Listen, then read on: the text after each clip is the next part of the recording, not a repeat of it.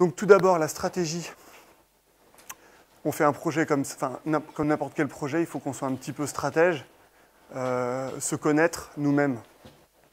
Donc en fait, cette SWOT, là, ce qui parle des forces et des faiblesses, euh, c'est surtout pour décrire une SWOT par rapport au libre.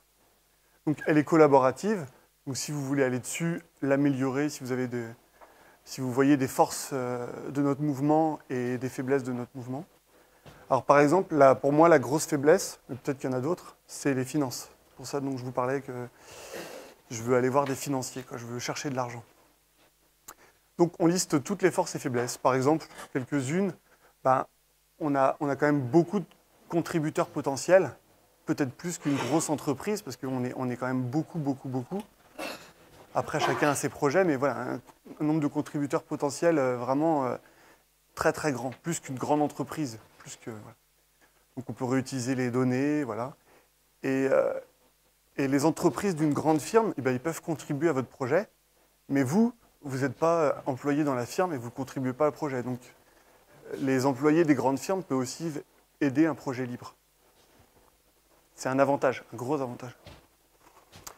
Donc voilà, le but de ce document, c'est important, c'est de réfléchir euh, quelles sont nos forces pour pouvoir euh, derrière euh, le plan d'action, faire un plan d'action en conséquence. On va, pas, on va mettre peut-être beaucoup de moyens pour des, problèmes qui sont importants pour nous. Voilà, c'est de la stratégie. Alors pourquoi le projet LibreID Alors pour plein de raisons.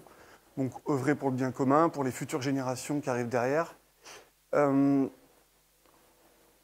parce qu'on est très inspiré aussi par le siècle des Lumières, les inventions. Le but du projet, c'est d'accélérer le progrès technique et social. Donc euh, il y a tellement de choses à faire. C'est vaste, hein, c'est des objectifs très vastes, mais c'est... Euh, essayer de développer la créativité et l'intelligence à, son paroxysme.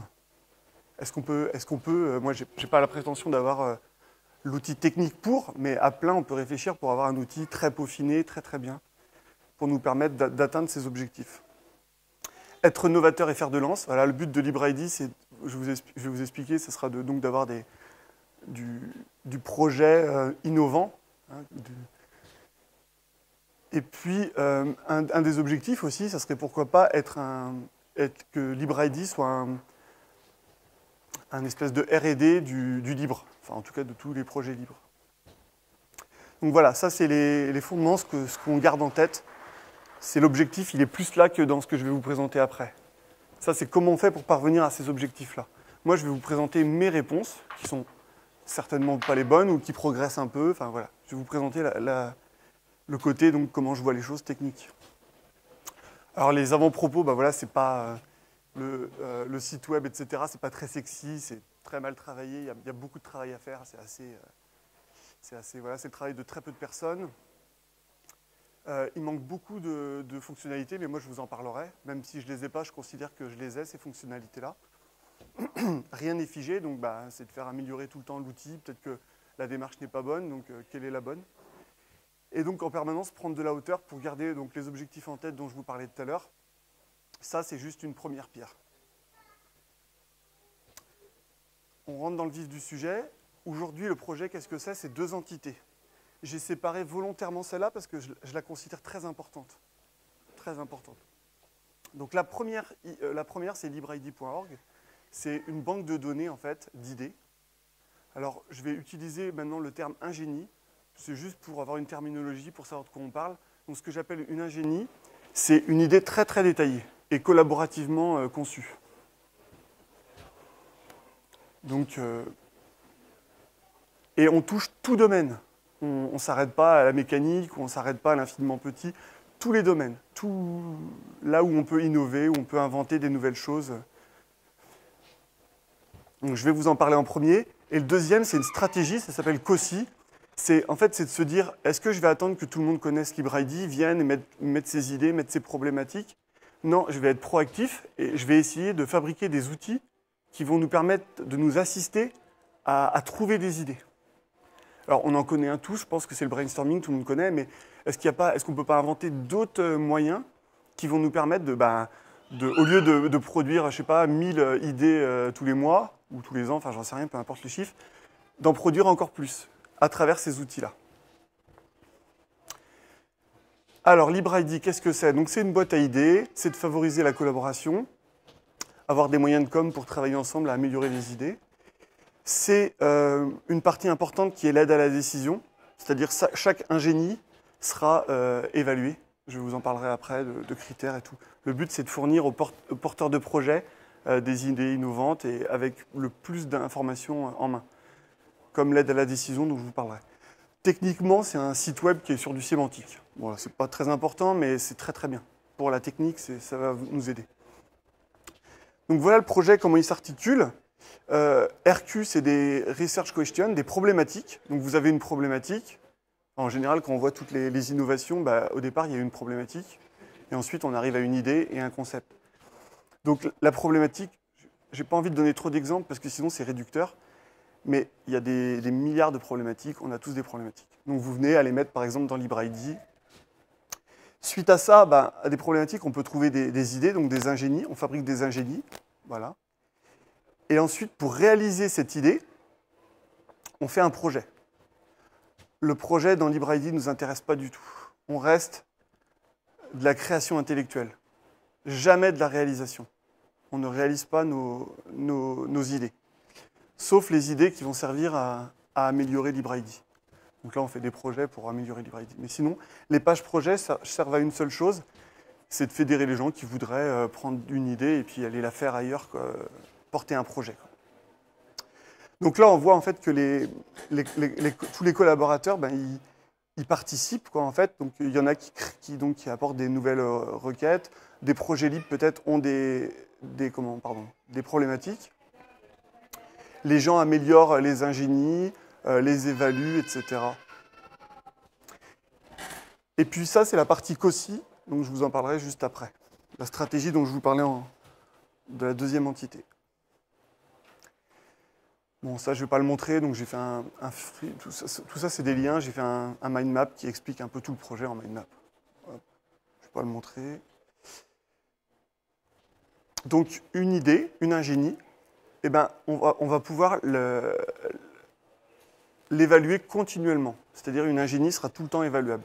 Vous pourrez revenir sur vos décisions. Si vous avez évalué une, ingénie que vous ne trouviez pas bonne, dans un an, deux ans, vous pouvez peut-être vous dire qu'elle est mieux, donc vous pouvez changer votre vote. Il y aura deux votes. Un, vote subjectif, est-ce qu'on aime, on n'aime pas, le cœur qui parle, et puis euh, une évaluation rationnelle.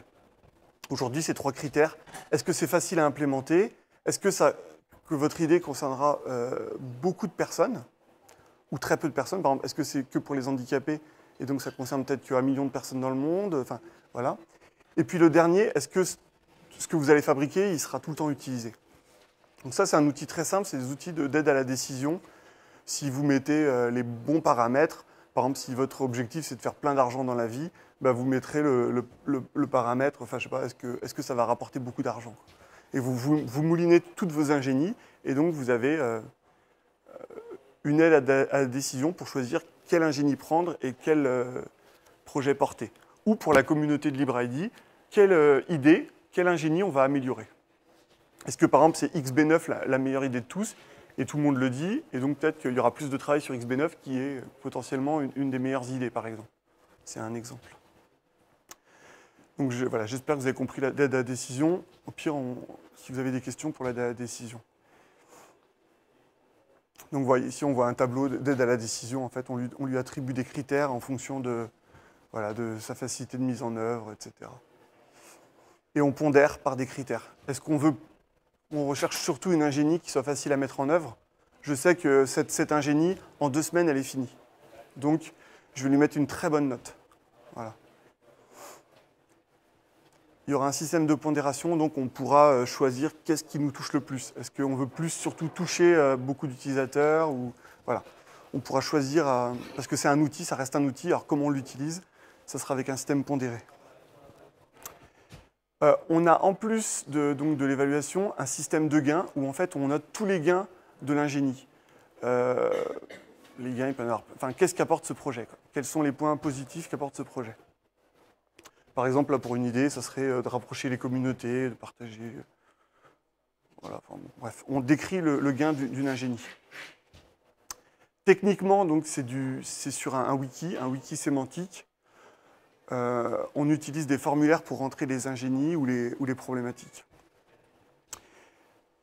Alors, euh, un wiki, c'est un wiki. Un wiki sémantique, c'est quelque chose en fait où toute une, ingénie, par exemple, donc elle a l'aide à la décision, donc elle a une note de facile. Enfin, on range tout dans une case.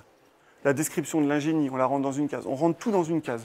Ce qui nous permet de faire des requêtes très facilement et de sortir ce qu'on veut. Par exemple, on pourrait sortir les, je les, 10 meilleures ingénies les plus faciles à mettre en œuvre, ou euh, les ingénies qui ont été inventées par euh, des Français, ou, des ingénies qui concernent la construction. On peut, vraiment chercher ce qu'on veut très facilement grâce aux sémantiques. C'est vraiment donc c'est la technique, mais elle va nous aider fortement sur ce projet. Alors, une ingénie peut avoir des propriétés, donc, euh, qui est l'inventeur, par exemple, quand est-ce qu'elle a été créée, enfin voilà, plein. Est-ce que ça concerne un objet physique ou c'est plus une ingénie qui parle d'un concept Ça, je vais vous en parler. What is it et what is it for C'est pour décrire l'ingénie. Ah ouais, j'aurais voulu vous montrer des requêtes, mais bon, je sais pas. Peut-être en mettre une vite fait quand même. Est-ce que ça marche?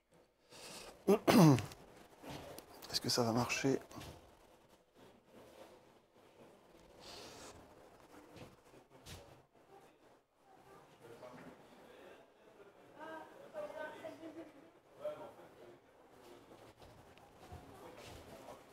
Sais pas. Alors donc, euh, ça marche comment le... Ah, j'ai pas mis de souris.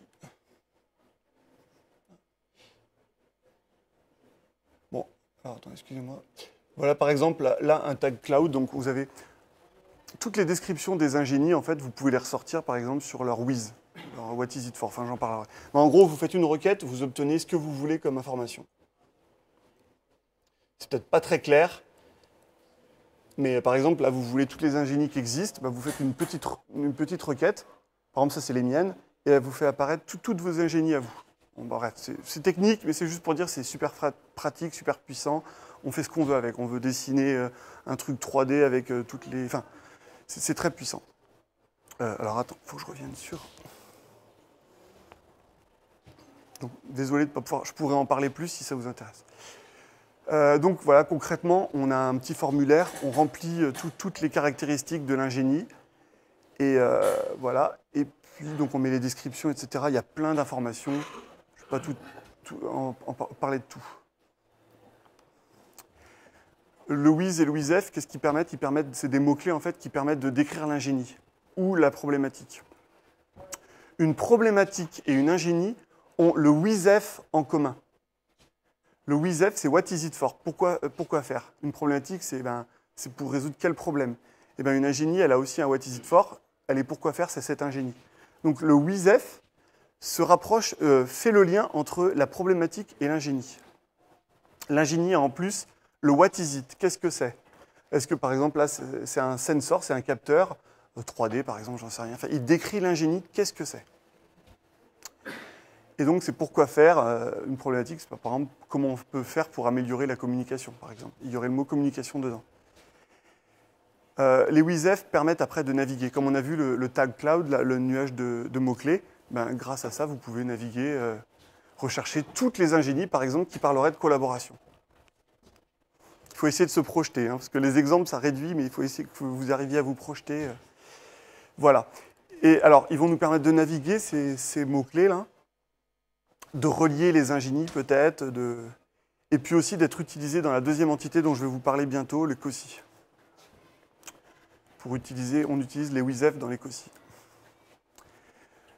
D'autres idées d'amélioration, euh, je vais être bref, mais bon, on pourrait rajouter par exemple des principes. Vous savez, pour fabriquer quelque chose, vous pouvez avoir des principes. Et euh, des principes simples, par exemple, je pourrais parler de l'homme mort ou des principes tout bêtes en sécurité. Et euh, une page de principes, en fait, qui est à côté de l'ingénie qui vous permet de l'améliorer. Enfin, je ne veux pas vous embrouiller, mais j'ai plein d'autres idées pour améliorer le projet. Voilà. Maintenant, je vais vous parler donc de la deuxième entité, les COSI. Donc, ce que je vous disais, c'est important, c'est on est dans une posture proactive. On va trouver, se fabriquer des outils pour être le spécialiste des idées et donc pour euh, pour s'aider à, trouver des idées innovantes. Donc ça, je pense que c'est une démarche originale. C'est une, enfin voilà, c'est une, pour le projet, c'est très important parce que si on arrivait à faire des outils qui nous permettent de générer quand même beaucoup d'idées et de qualité, eh ben, je pense que ça serait peut-être euh, le projet marcherait peut-être bien. Donc c'est la priorité du projet. J'espère que vous comprenez à peu près quelle est cette stratégie. Donc voilà comment il se met dans, le schéma, en fait, les COSI. Ben, on, va essayer de développer des COSI, participer, et ces COSI nous permettront donc de créer des idées pour remplir la première entité qui est libreid.org. Aujourd'hui, des COSI, on en a très peu. Voilà. Euh, j'en ai pas, mais le but, c'est de dire, euh, les gens, peut-être que vous avez des idées de COSI bien meilleures que les miennes. Nous, on va essayer de développer celle-là en, en premier, pardon, parce qu'en la testant rapidement, elle est vraiment très bien. Donc on utilise les mots-clés de tout à l'heure, on les mélange, et ça nous permet de, penser à d'autres, de, nouvelles idées. Donc ça sera, quand on aura un peu de, quand on aura les moyens, on commencera à développer donc des COSI pour voir si on arrive à remplir nos objectifs, qui sont de, trouver des, bonnes idées. Bon, alors là, enfin, il y, a il y a des idées aussi de mettre des, de faire des partenariats avec des projets libres pour euh, être la boîte à idées du projet libre. Je vais peut-être pas m'attarder là-dessus, enfin, il y, a plein d'idées. Alors, quelle est la différence entre une ingénie et, donc un brevet? Il y a certainement beaucoup de différences, mais un brevet, c'est plus ou moins statique, il est déposé, il coûte beaucoup d'argent, etc. Nous, une ingénie, en fait, ça sera quelque chose qui va durer dans le temps, qui sera sans arrêt amélioré par euh, vous, par moi, par, tout le monde. Par contre, la personne qui porte un projet issu d'une ingénie, ben, il faut ben, qu'il respecte la philosophie du libre, donc euh, chacun a le droit d'utiliser une ingénie et de la mettre en œuvre. Si euh, une ingénie pose des problèmes de, conflit, on peut forquer, c'est du libre, donc euh, une, ingénie, quelqu'un peut récupérer une ingénie et partir l'améliorer ailleurs. Il n'y a rien à demander en, argent, bien sûr, les gens ils servent et ils, partent avec. S'ils peuvent juste respecter la paternité. L'important, c'est déjà de, produire du contenu avant de se battre euh, sur la propriété intellectuelle ou le copyleft. Alors, la concurrence, il y a deux sites qui existent. Euh, voilà, ils sont très simplistes, mais ils proposent, un peu comme LibreID, de, de, mettre des idées en ligne. Mais alors, ça reste très simpliste, c'est du web simple, c'est juste un texte. Les gens écrivent un texte. Alors que LibreID, c'est un pensée un, peu, un peu euh, plus. c'est un, peu, un outil un peu plus peaufiné, beaucoup plus peaufiné, à mon avis, que ces deux sites, mais qui ont pignon sur rue depuis longtemps. Puis je me demande aussi, voilà, est-ce que des compagnies ont des, pareils outils pour, euh, pour euh, ne cesser de, se réinventer, d'inventer des choses Peut-être que parmi vous, en fait, il y a des gens qui travaillent dans des sociétés qui connaissent euh, peut-être des outils qui leur permettent d'innover. Le marché, alors le marché de la recherche et du développement, c'est 2,5% du PIB, grosso modo, mondial. Donc ça représente euh, un gros, chiffre d'affaires de recherche et développement. je parle des gens qui travaillent dans les labos, etc. À côté de ça, il y a aussi bah, les, petits, euh, les petits entrepreneurs qui arrivent, qui essayent d'innover, euh, qui ne sont pas dans, dans, ce chiffre-là. Donc par rapport à ce secteur-là, je me dis, est-ce que le, libre n'aurait pas une place? C'est quand même 2 milliards, il y a on a peut-être une place à avoir. Alors, je, parlais de la stratégie et je pointais bah, le financement qui est pour moi un gros problème dans beaucoup de projets libres. Et euh, voilà, je pense que ben, beaucoup de projets libres, euh, c'est des investissements assez dérisoires par rapport à ce que, ce que ça rapporte. Donc moi, je pense qu'avec LibreID, euh, je, vais, je vais surtout axer ma stratégie pour, à aller voir les, les régions, des mécènes, enfin, tous ceux qui pourraient potentiellement donner de l'argent je pense que c'est le nerf de la guerre. Peut-être que d'autres ne verront pas comme ça, mais voilà. Donc le but, pourquoi avoir de l'argent? Bah, Pour pouvoir euh, développer les fonctionnalités, exemple, qu'on n'a pas aujourd'hui. Euh, et puis pour attirer les gens aussi. Peut-être qu'un un projet qui a de l'argent, qui peut embaucher euh, des développeurs, qui peut embaucher plein de spécialistes, va devenir certainement un projet qui attire les gens auprès de qui, donc j'ai déjà dit, si vous avez des idées, ça m'intéresse, auprès de qui on peut demander de l'argent? Il y a l'Europe, par exemple. Alors pourquoi? Ben, voilà, en fait, je vais, euh, leur parler d'argumentaire, je vais argumenter pourquoi il faut donner de l'argent à ce projet. Donc, je vais vous donner des, exemples comme ça, c'est pas structuré, c'est à l'appel. Alors déjà, la masse de connaissances s'accroît hein, depuis le Moyen Âge ou depuis l'Antiquité. le monde se spécialise toujours de plus en plus. Hein. on a des docteurs en ceci. La connaissance est telle que est-ce qu'il ne pourrait pas y avoir un spécialiste des idées? Voilà. Est-ce que LibreID ne euh, pourrait pas être un spécialiste des idées. Vu que le monde se spécialise, pourquoi pas euh, Un argumentaire, bah, c'est vos croyances. Est-ce que vous avez des croyances? Est-ce que pour vous, la puissance de la collaboration, ça vous parle? Est-ce que euh, vos croyances à vous, quoi, d'éthique? L'enfermement du projet, c'est un point en fait où, imaginez un, créateur, un jeune créateur qui, commence à faire une start-up, je sais pas, enfin, avec de l'argent, enfin, et puis il a un bon projet, mais c'est une personne qui est très inventive. Peut-être que cette personne, si elle s'était pas laissée enfermer par son projet, elle aurait pu euh, inventer d'autres choses. Parce que c'est un enfermement le projet, c'est-à-dire que bah, vous faites le projet, mais du coup, bah, vous devez penser à chercher euh, des finances, à recruter des gens, etc. Donc vous vous, enfermez dans votre projet. Euh, un argumentaire aussi, c'est de dire, ben, aujourd'hui, donc c'est surtout des entreprises, des institutions qui font la R&D, mais eux ont une limite de leur sphère d'action. Les entreprises, qu'est-ce qui les intéresse C'est le gain. Donc euh, si une, idée est très très bonne mais qui ne rapporte rien en, substance, euh, ils ne vont pas s'y mettre. Les institutions, bon, je ne connais pas exactement, mais je suppose que ça répond à des cahiers des charges. Donc il y a peut-être une place euh, en dehors de cette sphère d'action occupée par les entreprises et les institutions. Donc ce que je disais tout à l'heure, bah, c'est des projets libres, c'est dérisoire en termes de potentiel, parce que même si ça ne marchait pas, quel gâchis ça serait. C'est très peu d'argent par rapport à ce que ça pourrait rendre. Alors, imaginez un projet comme LibreID aussi avec plein de monde. Il faut, se projeter un peu. Euh, on aurait une hétérogénéité des connaissances qu'on n'a jamais vues peut-être. Parce que dans une entreprise, vous prenez n'importe quelle entreprise, le panel est quand même restreint. Il n'y a pas des philosophes qui côtoient des, des historiens, qui côtoient des, des chercheurs euh, qui n'ont rien à voir euh, plus en technique. Donc, quid du potentiel d'une hétérogénéité jamais vue? Je ne sais pas. Euh, ben, le but, c'est de contribuer aussi à la science, à la recherche, hein, toutes les problématiques de famine dans le monde, etc. il y a tellement de problématiques. Il faut contribuer à la science, contribuer au progrès.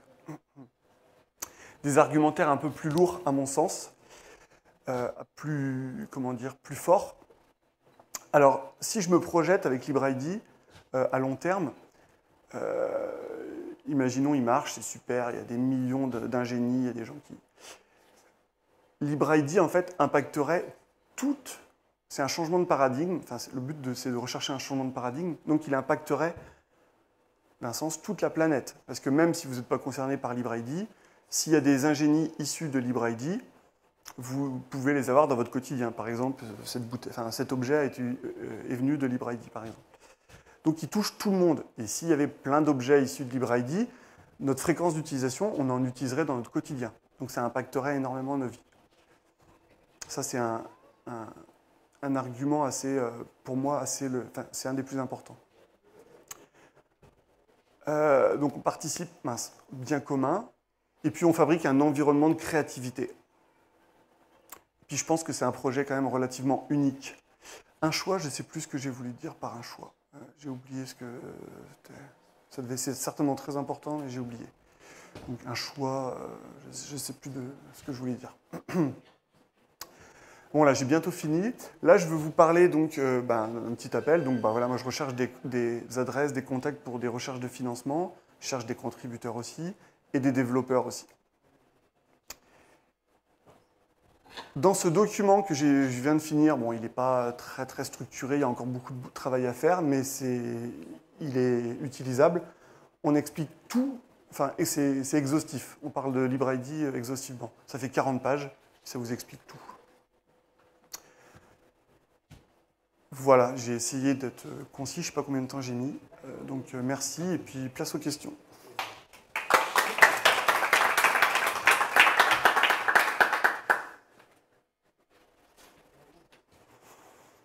Est-ce que vous avez des questions?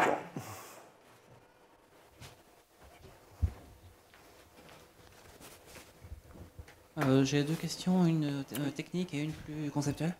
La première, c'est que donc, tu parles euh, des brevets, à un moment ça remplace le brevet, mais en libre. Oui, alors enfin. ce que je veux dire, c'est que Kalimak a montré hier que en fait, ça ne tient pas la route quoi, légalement. Et donc ma deuxième, qui est plus conceptuelle, c'est qu'en fait, justement, on euh, propose du nom des trucs, parce que tu, ça impose qu'il y, ait des noms pour des choses. Mais en fait, euh, là, c'est moins pour l'ingénierie ou ça, c'est pas trop un problème, mais pour la recherche scientifique. En fait, on conceptualise en nommant, on nomme en conceptualisant, et tu as plein de, cas où euh, la, définition du concept est quelque chose d'extrêmement important, débattu et qui est pas du tout, c'est pas pas quelque chose qui est abouti. C'est chaque euh, personne qui va euh, travailler sur le sujet doit d'abord commencer par faire une recherche concept, euh, par définir son, concept, etc. Il y a des concepts qui sont différents d'une discipline à, l'autre pour la même chose. Enfin, je, sais que j'avais travaillé sur le paysage. Le, paysage, par exemple, vu par les écologues et le paysage vu par les géographes, finalement, on sait que c'est pas la même chose, mais on sait pas pourquoi c'est pas la même chose, on sait pas exactement. En fait, c'est toute une question. C'est juste, juste un exemple, il y en a plein d'autres. Puis des fois, les concepts sont pas les mêmes d'une culture scientifique à une autre. Par exemple, chez les, ce que les Américains appellent anthropologie, ce que les Français appellent anthropologie, c'est pas forcément la même, mm, mm, mm, chose. et ça, ça me paraît quelque chose qui n'est pas soluble finalement pour une solution comme la tienne. D'accord. Et le risque serait d'uniformiser, d'arriver à, ce qui est un peu le cas sur Wikipédia, où tu as finalement une, euh, une, euh, une conception qui va écraser les autres et les rendre invisibles. Alors, bah, j'ai que deux ans. Et, euh, oui, c'est une, des problématiques, c'est par exemple comment un outil comme LibreID pourrait euh, fédérer la recherche. Je ne me suis pas assez euh, penché dessus. Pas assez, vraiment pas assez. Mais c'est très important parce qu'on voit donc le, secteur, on voyait c'est 2000 milliards, c'est 2,5% du PIB. Comment on fait pour, pour faire travailler mieux ces personnes ensemble? Est-ce qu'il y a moyen, avec les outils qu'on a aujourd'hui, de faire mieux travailler ces personnes? Je ne suis pas assez avancé. Je ne suis pas assez avancé, mais oui, il faut. Donc je parlais des Wiz et WizF tout à l'heure, c'était pour décrire les. Ça répond certainement pas à ta question, mais, euh, mais oui, il y a des problématiques euh, de cet ordre-là. Et euh, voilà, ça m'intéresse si tu as des solutions. Je vais relayer une question plus pratique qui avait été posée sur Twitter, qui est la question du financement. Apparemment, tu as, pas mentionné, tu as mentionné de financement institutionnel, mais pas la possibilité d'utiliser le crowdfunding. Ouais, un peu enfin, toutes les pistes sont à étudier. Mais maintenant, on, reste avec une éthique. Euh, donc, euh, tout à étudier, crowdfunding peut-être, certainement, je ne sais pas. Oui, oui, c'est à étudier. C'est à étudier. Après, il faut que, faut que ça reste avec une éthique. Euh, faire du libre. Il faut faire du libre. Il ne faut pas non plus. on peut pas faire un. Je pense qu'un partenariat avec une entreprise, par exemple, c'est pas, pas faisable. À moins que ça soit du pur mécénat ça sera que du mécénat, enfin, voilà, du mécénat, sans contrepartie. On peut pas. Est-ce que vous avez d'autres questions sur euh, ce que je vous ai présenté Est-ce que ça a été à peu près clair? Vous avez à peu près compris ou... Oui, une question, je t'en prie. Vous pouvez donner le micro peut-être, euh, s'il vous plaît?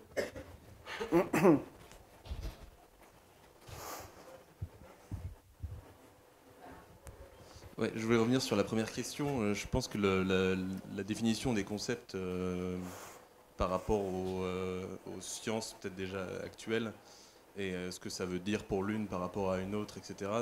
Je vois pas tellement ça comme un frein, puisque là on parle de coopération entre ou des sciences humaines et des sciences dures, euh, ou enfin, tu prenais l'exemple de l'anthropologie aux États-Unis et en France qui est différente. bon là du coup ça, ça pose un problème essentiel, je pense, mais le, pour moi, l'intérêt de, de, LibreID, ce serait plutôt justement de redéfinir ce concept euh, au croisement de, plusieurs sciences. Quoi. Et dans le cas des sciences humaines, de la collaboration sciences humaines et sciences dures, euh, ce serait peut-être plutôt. Il faut englober les deux, ça, c'est sûr. Ouais, ce serait du coup peut-être un nouveau concept plutôt qu'un euh, problème de, de, langage, de comment se comprendre par rapport à ça. Quoi. Enfin, ça c'est pour apporter un élément du coup à ce que tu disais. Euh, moi, ma question, elle était davantage sur les COSI. En fait, je... Euh, très bien. Merci la question, parce que c'est le plus important à mon sens. Très bien. Euh, si j'ai bien compris, le, le COSI, c'est pour créer des idées hmm. C'est une stratégie. Je n'ai pas les solutions. Par contre, j'ai dit que c'est la stratégie la plus importante. C'est si on arrive, si on travaille plutôt à faire des COSI qu'à faire des idées de médecine, enfin, de médecine ou de tel domaine, construction, je ne sais pas, c'est super. Mais si on fait des COSI, c'est encore mieux, parce que ça va nous permettre d'être plus productifs et de trouver plein d'idées sur la construction, plein d'idées sur euh, l'écologie, enfin, plein d'idées sur, euh, Oui, tout à fait. Mais alors, du coup, ma, question, elle est euh, celle de la problématique euh, dans le, fonc- le fonctionnement du COSI que je n'arrive pas encore trop à imaginer. Euh, où se place la, la- la problématique? Si c'est juste Alors, le- générer des idées. Ouais, euh, alors, je, alors me demande aussi, est-ce que le COSI pourrait pas, euh, pourrait pas aussi générer des problématiques aussi? Sais pas si ça peut répondre à tes questions, mais peut-être qu'un COSI pourrait être, créer des idées, mais aussi créer des problématiques, je ne sais pas. Peut-être le- parce que là, le COSI, la stratégie du COSI, en fait, c'est de remplir euh, LibreID par des ingénies, mais euh, est-ce qu'on pourrait pas remplir euh, les RQ Ça, c'est pas important pour nous. Le projet, c'est pas important. On reste spécialiste des idées, donc on reste sur ces deux-là. Mais oui, est-ce qu'on peut pas. euh, Mais bon, on en a tellement déjà de problématiques que pense que le COSI, pour l'instant, il sert à rien. Si déjà, tout- si déjà ici, vous mettiez juste une problématique euh, puissante, euh, c'est déjà beaucoup. Mais oui, oui, c'est intéressant. Ouais, puis je pense que c'est un truc que j'ai- pas, pas entendu au moment où je posais la question, mais le, le- le but du jeu aussi, c'est de, de promouvoir des, euh, des enfin d'arriver, euh, consulter des idées, et puis Partir avec, ouais, oui, c'est ça que tu veux dire quelque part la problématique, elle peut venir de l'idée aussi, quoi, d'une certaine façon. Euh, Je comprends pas, pardon. Ben, euh, moi, par exemple, si je vais sur LibreID, que je consulte des idées, euh, je peux imaginer la, la problématique qui, euh, qui aurait pu être liée. C'est-à-dire que dans le cas de Cossi Oui. qui produit des idées, quelque part, on peut, on peut trouver la problématique. Oui, bah, ça c'est important. Enfin, si j'ai compris, hein, c'est que toi tu dis que tu, bah, tu vois des ingénies ici et qui n'ont pas de problématiques. Donc tu vas leur donner des problématiques. C'est très très bien aussi. Super. Je sais pas si c'est. On, on- on s'est bien on compris ou? Ouais, bah, moi je suis d'accord. Très d'accord. Justement, c'est ce que je fais des fois, c'est que je prends mon- mes ingénies qui sortent de nulle part et je leur trouve des problématiques. Parce que le but c'est. Ça, c'est. En fait, c'est une solution à une problématique. Mais si tu, si tu prends une, une idée, tu lui mets une problématique, il y a peut-être euh, d'autres solutions à cette problématique. Enfin, très important. C'est le cœur du système, de toute façon. Je, je- je voulais revenir aussi sur le, le- le financement, pour la la dernière chose que j'allais dire, mais euh, tout à l'heure tu parlais des, euh, des partenariats avec des entreprises qui seraient un petit peu contre l'éthique du libre, euh, ou quelque chose comme ça, mais euh, qu'est-ce qu'il en serait des associations, par exemple, des associations qui ont envie de, se développer, qui peuvent faire appel à des, logiciels ou des, structures privées pour les aider à se développer pourquoi est-ce que des associations ne financeraient pas euh, LibreID ou des porteurs de projets euh, qui viennent de, de LibreID, Si, si. justement pour... euh, Oui, oui, la réponse est oui. Enfin, oui, oui, oui, oui, bien sûr. Oui, c'est c'est intéressant aussi, bien sûr. Il faut trouver des financements. Je relais une autre question euh, qui vient d'Internet, en l'occurrence via IRC cette fois, euh, sur la, la partie logicielle. Sur la partie logicielle du projet, euh, qu'est-ce qui est euh, distribué et sous quelle licence? Très peu de repos pour l'instant. Euh, il me faut un, un, un développe- un informaticien, un développeur qui saura faire ça. Je ne sais pas tout faire. Je sais faire beaucoup de choses, mais, mais très peu. Donc, Donc, pour l'instant, mais partie- tout, tout, de toute façon, sera bien sûr tout, tout ce qui sera, toutes les fonctionnalités qui seront créées, bien sûr, seront sur un repos. sera accessible. C'est le but, hein, bien sûr. On fait du libre. voilà. Est-ce que vous avez d'autres questions Oui. C'est un très beau projet. Tu en as parlé à Sauvons la Recherche ou à d'autres organisations du même genre? Alors, ça, je ne sais pas ce que c'est. Par contre, bah, le- la communauté scientifique Euh, m'intéresse aussi. Sauvons la Recherche, c'est le groupe de chercheurs qui se, qui se qui s'arrachent les cheveux devant la, stupidité des programmes euh, po- euh, des politiques gouvernementales depuis un certain nombre de temps sur la question de la recherche et, qui cherchent à se mobiliser justement pour, euh, avoir quelque chose d'un peu plus intelligent. Et notamment, ils euh, travaillent sur la question de, euh, des, lic- des licences propriétaires sur les articles, des questions de, de- de- de- Elsevier, etc. Mais ils ne sont pas les seuls, je crois. Je vois ça par les journaux, hein, je ne connais pas particulièrement bien.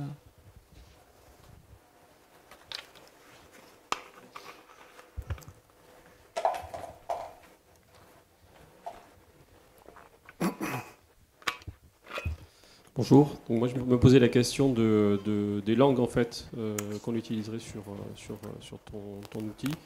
Euh, c'est vrai que là, si, si on vise une commu- enfin, des contributeurs du monde entier, euh, la question de la langue qu'on utilise pour, pour décrire les projets est pas négligeable et ensuite pour les, les rechercher avec des mots-clés. Euh, c'est vrai qu'il y a beaucoup de, de communautés qui se forment autour des langues, les, francophones, les anglophones et puis les autres aussi qui sont là. Euh, qu'est-ce que Qu'est-ce que je comment- propose comment, ouais, Qu'est-ce que tu proposes Voilà. Donc ça, j'y ai réfléchi, bien entendu. Peut-être qu'on peut faire un langue. Langue utilisée. Dans mon document, hein, comme je vous disais, dans les 40 pages, il y a beaucoup, beaucoup de choses. Beaucoup d'informations. Alors, les langues, euh, déjà une ingénie, est-ce qu'une ingénie, même euh, très très bien, qui est vraiment portée par la communauté, améliorée sans arrêt, est-ce qu'elle a besoin de toujours une traduction? Peut-être pas. Donc euh, déjà, on n'est pas sur du Wikipédia. Euh, déjà, est-ce qu'une ingénie a besoin d'être traduite dans les 200 langues? Non. Avec le sémantique, on a vraiment la possibilité de traduire facilement. Enfin, traduire, j'en- j'entends par là de, de ranger les informations dans une autre case. Donc le case pakistanais, on range euh, la description de l'ingénie, on peut tout faire, tout décrire. Donc, pour, enfin, pour répondre à ta question, en tout cas, c'est une, vraie problématique, bien sûr. Alors, aujourd'hui, c'est d'utiliser la langue commune. Les WISEF euh, sont en anglais, WIS, sont en anglais, et ils font une ossature en fait de LibreID parce qu'ils décrivent, euh, ils apportent une description euh, technique des problématiques des ingénies. Donc aujourd'hui, c'est l'anglais, c'est une question difficile. Par contre, on a l'outil pour, c'est-à-dire le, le sémantique euh, vraiment nous permet de faire vraiment plein de choses. On peut créer des formulaires, donc on peut créer un, for- un formulaire pakistanais. Donc la personne arrive dessus, utilisera le formulaire pakistanais et remplira les informations euh, d'évaluation qui sont propres à toutes les langues, les notes, etc., les remplira dans une seule case. Par contre, mettra euh, le description en pakistanais, donc dans une case description pakistanais.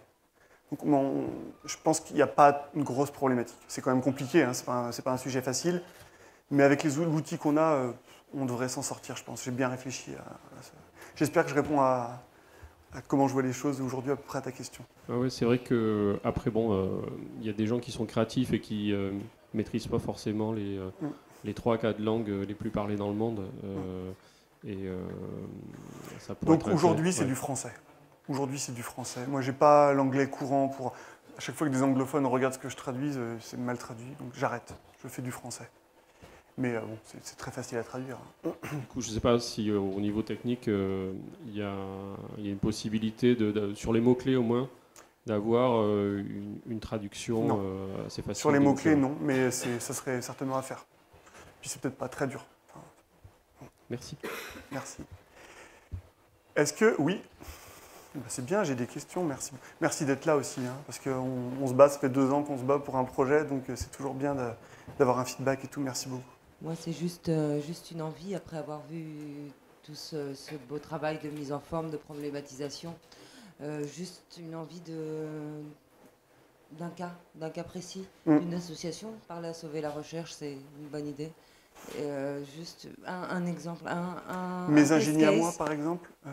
Non, Tu veux connaître le contenu? Qu'est-ce qu'il y a non, dans le non, livre non, non, non, juste plus à titre de, de suggestion, un, un test, un test case de quelqu'un qui, qui aurait, qui, un premier cas d'un génie existant en ligne rapidement avant, avant de poursuivre. Non, non, je ne demande pas spécialement une présentation maintenant, mais ce que je veux dire, c'est juste une envie plutôt que de, de voir un, un- un framework euh, d'une telle envergure. Non, tu veux du contenu, tu veux que je te parle du contenu, euh, c'est ça? Des, des ingénies qui sont sur LibreID, par exemple?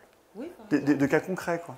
Oui. Alors, mes ingénies préférées, par exemple, ou des petites, euh, par exemple, c'est City Portal, donc c'est de faire un, écran, euh, un écran géant avec euh, un mur, en fait, comme si on voyait Madagascar juste à côté, le marché de Madagascar sur une place publique, un écran.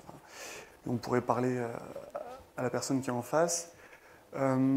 Qu'est-ce que j'ai comme ingénie? J'en ai plein, des ingénies. Il faut aller les voir, il y en a plein sur le site. Il faut aller les voir, mais ben, je vais prendre la liste qui est là, on l'avait juste là, la liste. Donc là, par exemple, Many Hervé World, Def- il y en a à peu près euh, 100 150 des ingénies.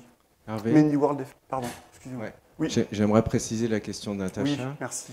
Euh, parce que par exemple, ce que tu viens de décrire, euh, ça s'appelle All in Space. Ça a été fait par Kit et Sherry Rabinowitz en 1977 Voilà, bah, entre, tant mieux, tant entre mieux. New York et, c'est super, et Santa Monica en Californie. génial. ouais. Et euh, pendant euh, plusieurs jours, tu avais des familles qui s'étaient pas vues depuis des années, qui pouvaient se parler. Alors, on va pas rester live. sur cet ingénie-là, mais oui, mais c'est mais c'est super, euh, c'est super, c'est génial. Moi, ce que j'aimerais comprendre, par exemple, c'est euh, comment tu expliquerais ton projet ou, ou alors, est-ce que tu as utili- utilisé cette méthodologie pour décrire ton propre projet?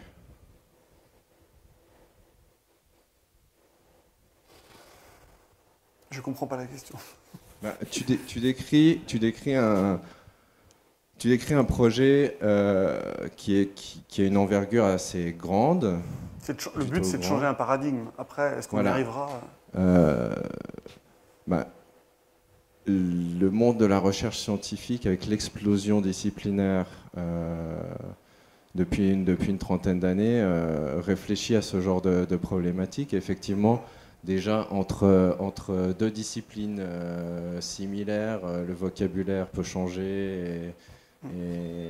Et, donc, si, on, si on, on- on considère tout ça d'un point de vue sémantique, ça veut dire qu'on a affaire à, à des ontologies très différentes. Et, et c'est un peu le problème de, de, de, de- de l'approche sémantique, c'est que la sphère sémantique euh, s'intéresse à, à- à ce qui est connu. Et la recherche s'intéresse à ce qui est inconnu.